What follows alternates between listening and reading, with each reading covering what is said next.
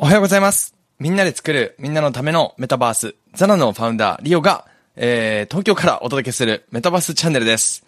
昨日はですね、もうグリッグリに酔っ払って、その勢いで Voicy を撮ったのでどうなってるかわかりませんけど、ちょっとね、怖くて自分の放送が聞けないっていう状態だったんですけども、いや、本日はね、バリバリ大丈夫ですよ。もう久しぶりにですね、ゼロミーティングで、ひたすら今日はもうね、溜まりきっていた仕事をひたすらするっていう時間だったので、あの、バリバリ元気ですね。あの、あの、やっぱりね、お付き合いとかがあるとね、夜とかね、お昼とかね、なんかこう、ランチとか食事しなきゃいけない時があったりするんですけど、僕の体はそういう風にはできていないんですよ。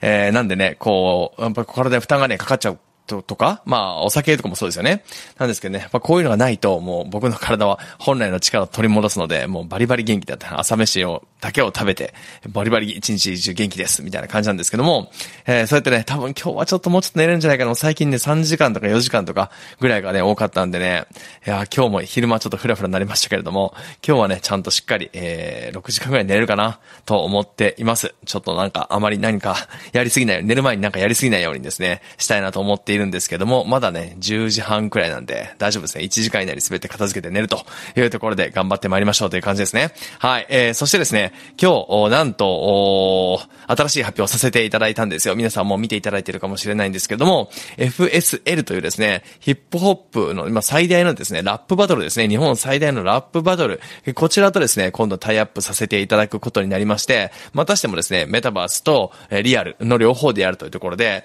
えー、リアルの方では、えー、彼らのですね、えー、イベントが4月10日にあるんですよ。えー、これがですね、もう結構有名なラッパーさんが勢揃いされるというような、えー、大会でして、で、僕たちはそこでスポンサーやらせていただくんですね。で、一方、メタバースの方では、逆にですね、僕らの、えー、メタバースの中に彼らのアリーナができてですね、まあ、今後いろんなことをやっていこうっていうところなんですけどもね、これをどういう風にやっていこうかなっていうのが、まあ、今回ブレイキングダウンの本当に最後ら辺ぐらいでこれが決まったので、まだね、あの、アリーナはギリギリできたんですよ。ちゃんとしたアリーナできたんですけども、さあ、ここからどうしようかっていうところででして、まあ、生放送するのか、アーカイブをするのか、それともなんか、ちょっとみんなで遊ぶのか、みたいな、なんかね、そういった面白い催しをね、考えたいなと思っているんですね。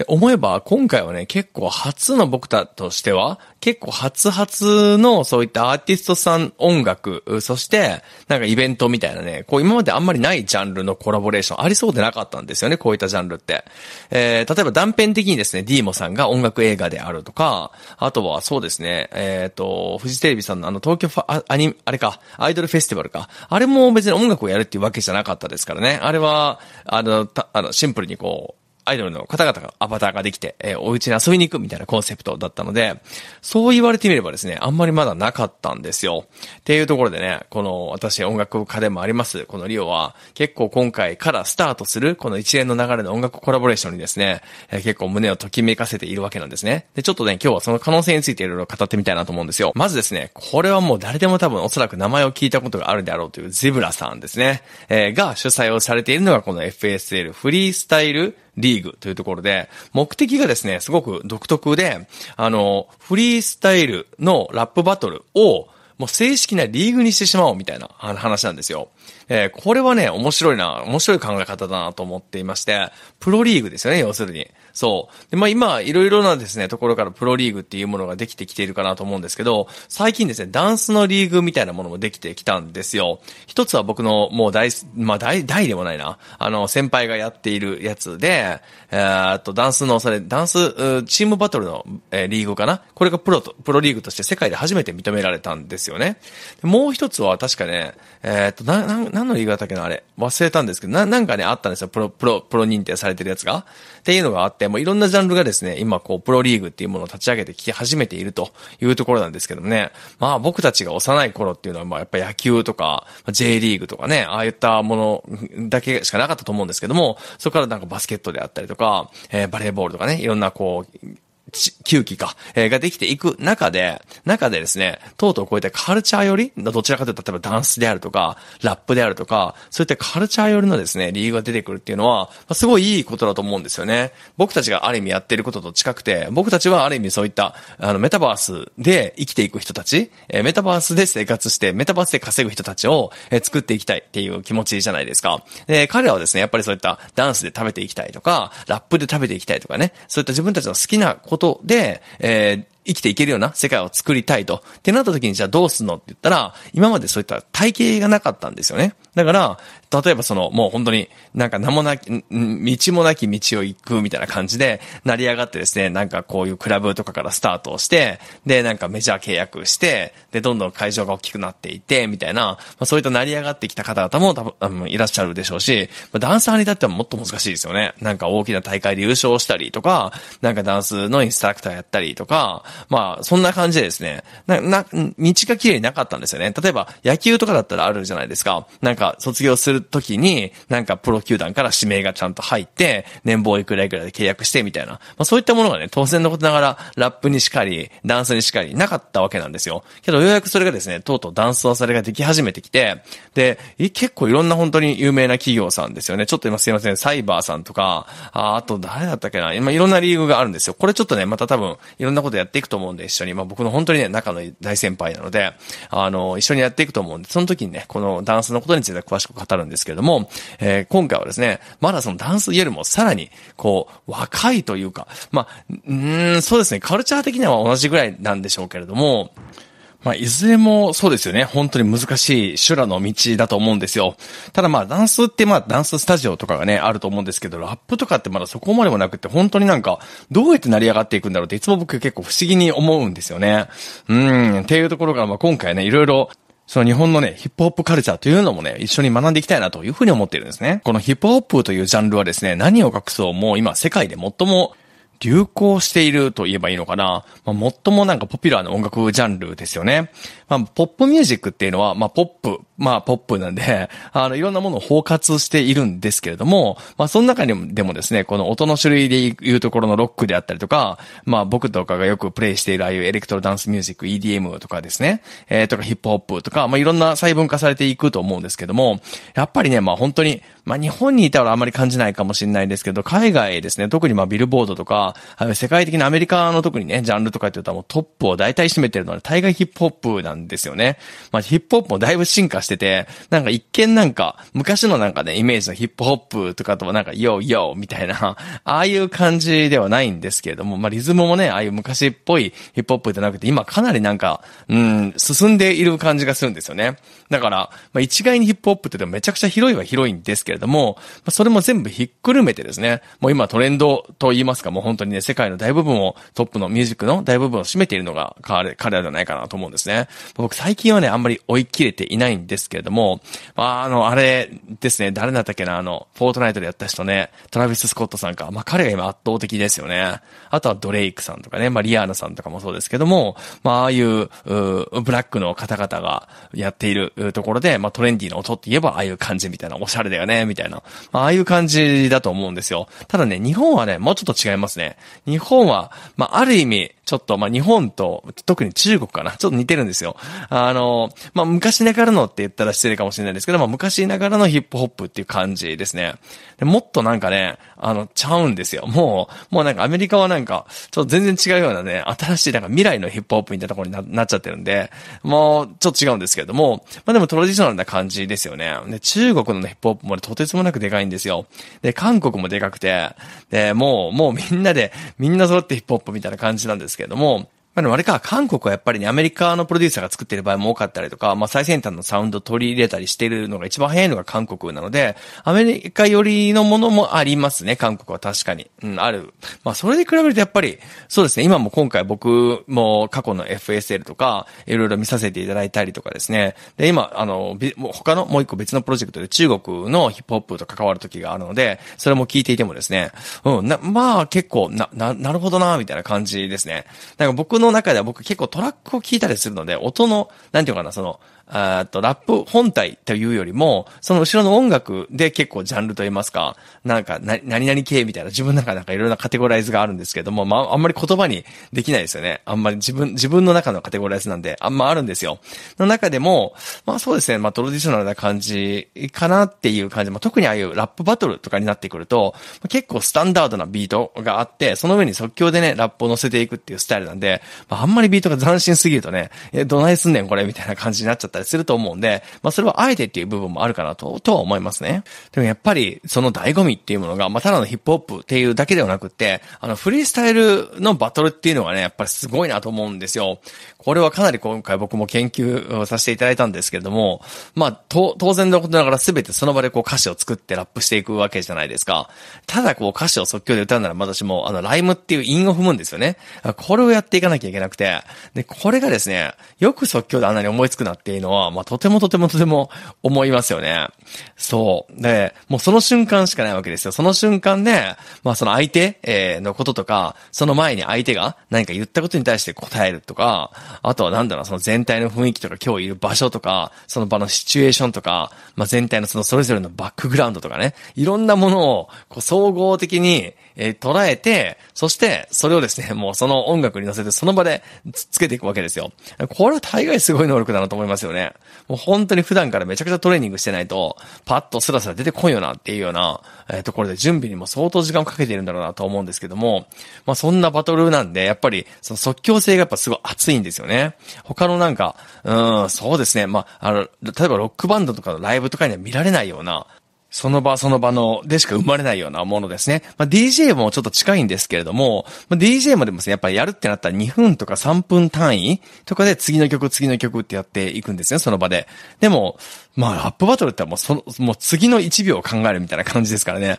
だからね、なんかこう脳内のスピードめちゃくちゃ速いんですよ。で、オーディエンスもそのスピード感についていてそれを聞くから、なんか全体的にすごいやっぱりね、こう、なんだかね、濃縮されてるんですよね。ギュッとされてるんですよね。格闘技に近いような感じですよね、本当に。そう。だから今回のね、ステ作る時も、まあ、あの、ブレイキングダウンとね、同じカンパニーですね。えー、バックステージさんがやってらっしゃるので、まあ、ブレイキングダウンと基本的に同じようなコンセプトで、もうあの戦いの場を再現したい。でも、やるのは音楽だみたいな、そういったコンセプトがあったので、まあ、僕たちもね、それに近いようなイメージで作っていったんですけれども、まあ、まさにですね、かっこいいバトルフィールドが出来上がって、そこでラップし合う、えー、アバターたちみたいな、そういったものができていったら将来的にはね、すごいいいなと思いますね。まあ、さすがにこの10日間では出てこないし、今もまだ絶賛ブレイキングダウンやってる最中なので、さすがに今回出てこないですけれども、まあ、そのティーザーとなるようなものが今回ね、えー、皆さんにお見せできたりとか、まあ、その業界全体にですね、えー、僕はどっちがかっていうと出していきたいなと思っていまして、なんか、あ、音楽の表現手段でこういったメタバースってこういう風に使えるんだとか、その可能性をね、やっぱり示していきたいなと思うんですよ。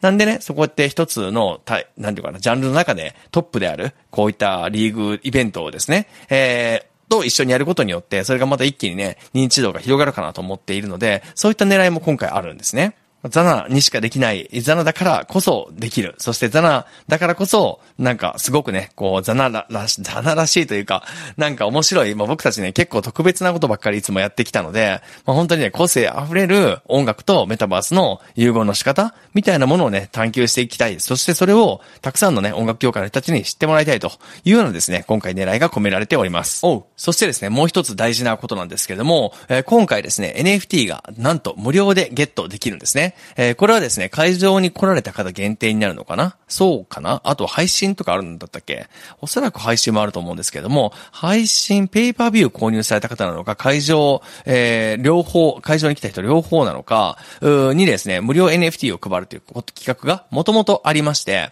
で、これはですね、ぜひともチャレンジしていきたいなというところで一緒にずっと話をしていて、新しいね、こうチケット購入のなんか価値づけみたいな可能性が追求できるんじゃないかなと思ったんですね。えー、っていうのは、ペーパービューって、ななんていうかな、やっぱその瞬間その瞬間にすごい価値があるんで、ライブと近いんですよ。で、ライブ基本的に行くときって、まあスマホとかでね、録画するかもしれないですけれども、やっぱその場しか体験できないじゃないですか。で、えー、一方 CD とかね、音源だったらずっとその後聴き続ける。で、その一瞬に濃縮された価値が高いっていうのはもちろんそうなんですけれども、大体その後終わった後のチケットってこう、紙くずになっちゃいますよね。で、それはもったいないと。何かそういったイベントに参加してきた証みたいなものが形になっていけばいいのかな。それが一番できるのがやっぱり NFT だろうなというところにね、僕たちはたどり着いているんですよ。なんで、えー、そういった今回のね、チケットをオンラインで購入された方々とかのために NFT を発行して、そしてこの NFT もね、いろんなトリックを考えているんですよね、この後。なんかその、例えばその、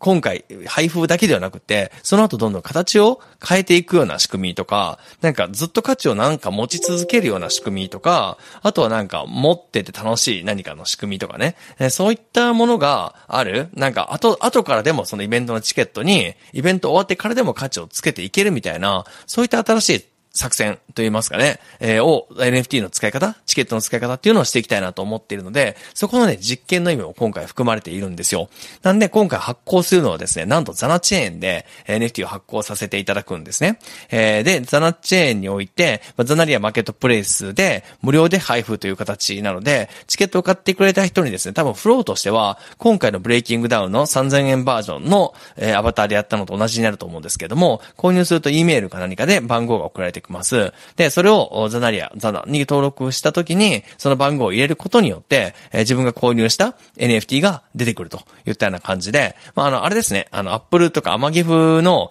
なんか、暗証番号っていうか、なん、なん、なんでしたか、後ろをなんかスクラッチして番号を出すやつ？で、それ入れると、あ、あなた、あの、ギフトカード買ったんですね。じゃあ1万円分クレジット追加みたいな、ああいう感じの仕組みなんですよ。まあ、これが一番ね、なんか手っ取り早いかなと思っていまして、で、なんかやっぱりね、クレジットカードとか繊細な、えー、ですね、情報とか、もう僕たちも預かるのはちょっと嫌ですし、というか、まあ、Web3 カンパニーなんで、そういうと慣れていないですし、ってなった時にですね、やっぱりそういった決済情報とかいただいてとか、個人情報をいただいてっていうのは、それはそもそもちょっと微妙なんですよね。えー、っていうところから、やっぱり安全性の面とかも考えても、えー、そういったですね、クーポン音声みたいな感じにすることが、一番この Web2 ユーザーさんにとっても負担が少ないし、えー、簡単にこっちの世界に来てもらえるかなというふうに思ってますね。で、やっぱりこれがですね、あの、イーサーとかで発行してしまうと、当然のことながら、じゃあそれを動かすにしろ、ミントするにしろ、何するにしろ、エアドロップするにしろ、ものすごいお金かかるわけじゃないですか。で、そもそもフリーミントであり、かつ Web2 の人たちが大半なので、そんな発想そもそもなしというところで、じゃあどうしようってなった時に、当然のことながらここで出てくるのがね、ザナチェーンの出番なんですよ。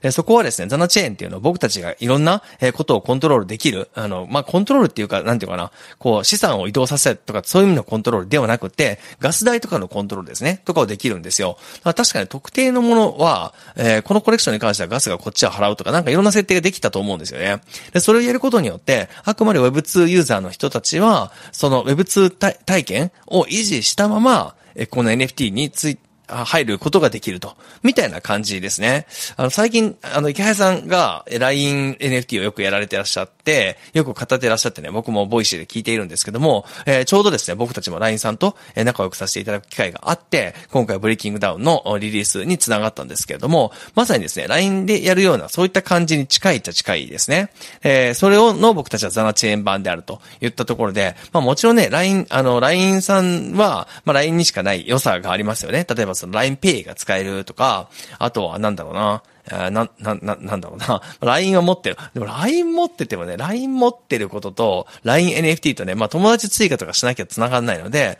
まあその辺はまあ、まあ似たり寄ったりかなっていう気はもちろん、まあね、LINE さん有名なんですけども、するんですけど、まあザラのやっぱり一番いいところっていうのは、例えばリビールができたりとか、あとはそういった、えー、自分たちなんで後でカスタマイズができたりとかですね、いろんな機能を追加していったりとか、あとはそうだな、え当然のことながら一般二次流通売買で、まあザナチェーンさえ入っていれば、えパブリックなところでマーケットプレイスなどで取引できるというところもあったりするので、まあそこは一長一短かなという感じなんですね。で、僕たちとしてはもちろんのことながら、ザラの経済圏にたくさんの人たちが来ていただきたいので、これをきっかけにね、Web2 ユーザーさんが来てくれるようであれば、スムースなユーザー体験になるようであれば、同じような作戦をどんどん展開することによって、まあ、ザナチェーンを使ったザナならではの Web2 ユーザーの連れて行き方っていうものができていくんじゃないかなと思うんですね。でそこで本当にね、なんか価値があるものとか、なんか面白いなって思ってもらえたりしたら、あんじゃなんかゲットしたいなっていう時に、まあそこはね、日本で先に多分上場することが先決だろうなと思うんですけども、そこでね、じゃあゼータトークン買ってみようってなる可能性は高いじゃないですか。いきなり海外の会社公設しろとかね、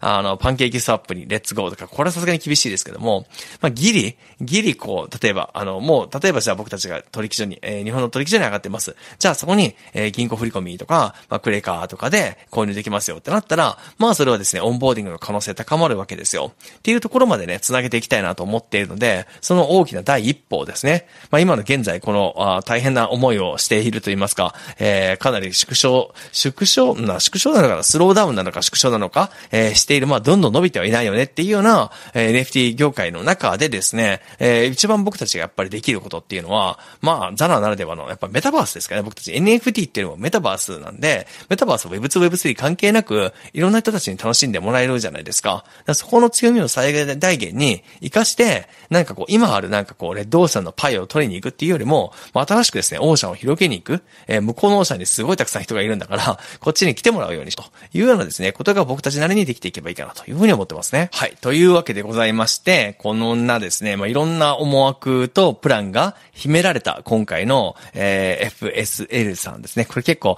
あの、言い間違えたりする可能性あるんで大事、結構難しいんですけど、フリースタイルリーグですね。リストのことフリースタイルリーグって言えた方が間違いないで済むっていうね、感じ。その響き結構僕好きなんで、フリースタイルリーグね、かっこいいじゃないですか。そう。略して FSL なんですけども、そう。なんで、えー、これを通じてですね、いろんなこう音楽業界とメタバースのつながり、えー、Web3 とのつながりをどんどん増やしていきたいなというお話でございました。イベント自体は4月の10日にですね、川崎チッタでしたっけ？えー、であるんだったかな？そう。そして、えっ、ー、と、オンラインでもありますというところでね、この辺がまた追って情報をどんどんと開示されていくと思います思いますので、えー、追っていってみましょう。はい。えー、そういうわけでですね、まあ、本日は僕はひたすらブレイキングダウンのリディールに向けて全力投球していたんですけども、えー、バン中村さんですね、今回参加していただきまして、もう僕あれ本当好きなんですよ。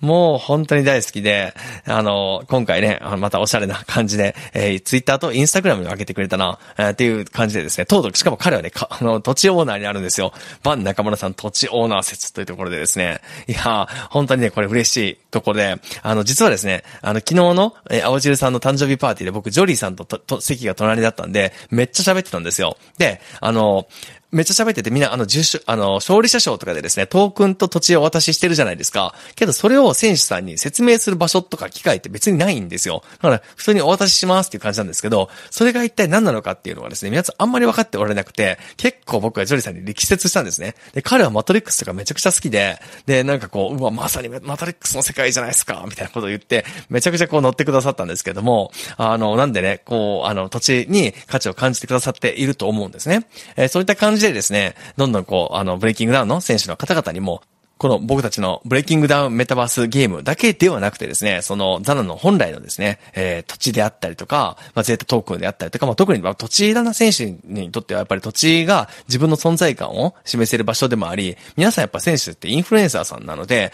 そのインフルエンサーの次に行く、行き着く、えー、目的地はどこかって言ったら、まあ、これはね、どう考えてもメタバースなんですよ。っていうところがあるので、まあ、皆さんとも相性がいいというところからですね、なんか個性溢れるワールドをどんどん作っていきたいなというふうに思っていますのと、まあ、それすらもですね、なんかこう、先週ごとになんかコンセプトを、えー、言って、で、それをみんなで作るとかのも面白いかもしれませんね。で、えー、トップになった人がなんかこう、選手のなんかもらえるとか、パン中村さんのグラサンがもらえるとか、わかんないですけど。